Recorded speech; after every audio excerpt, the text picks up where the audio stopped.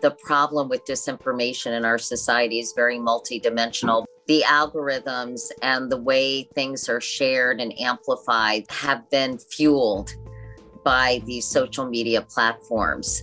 You know, it's also lack of trust in traditional media outlets. The sticky wicket in America is, is free speech.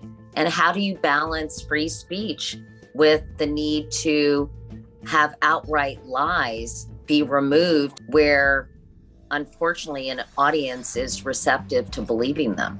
I think the technology has almost uh, outrun the ethical considerations of all this. Everyone who has a digital device can spread misinformation. And so it's something that that we need to pay attention to.